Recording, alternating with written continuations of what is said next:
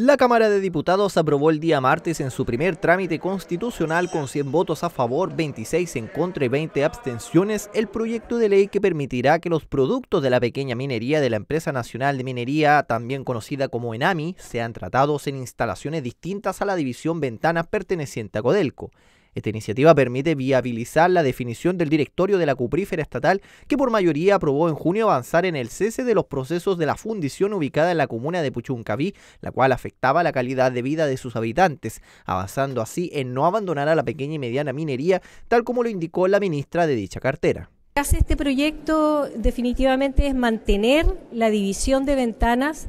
eh, dos de los tres procesos que se realizan allí. El primero de ellos, el del poder de compra, que es que los pequeños y medianos mineros llegan hasta ventanas con sus minerales y eh, son vendidos a la ENAMI. Eso va a seguir exactamente como hasta el día de hoy, inalterable.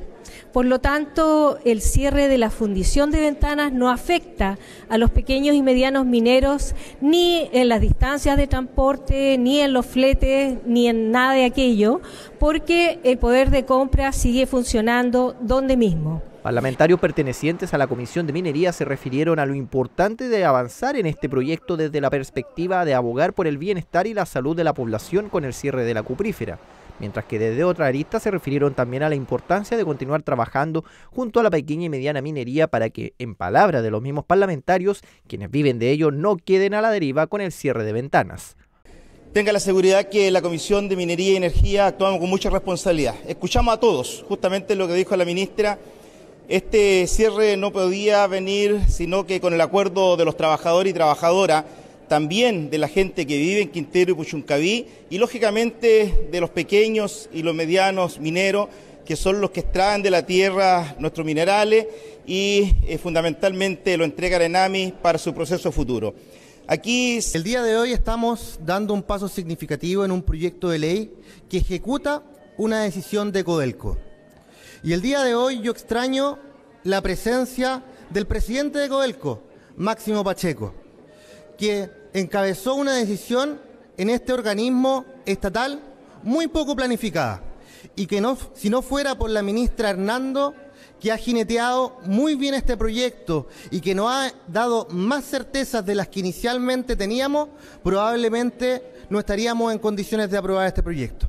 Decisión del cierre de Codelco Ventanas que en su momento causó manifestaciones, dudas, reclamos y preocupaciones, especialmente por los hombres y mujeres que trabajaban en aquella división mismo que tal como indicó Marcela Hernando, ministra de Minería, fueron parte de la discusión y de la planificación de este proyecto de ley, indicando que ellos fueron parte fundamental en la creación de este proyecto desde una perspectiva de quienes viven y trabajan del rubro minero. Los trabajadores, los representantes de los sindicatos, tanto de los trabajadores directos como de los contratistas, fueron parte de la mesa que negoció el cómo se iba a hacer esta ley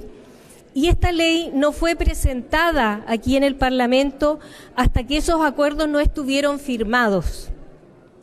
Los trabajadores directos firmaron con Codelco un acuerdo de transición justa el día primero de agosto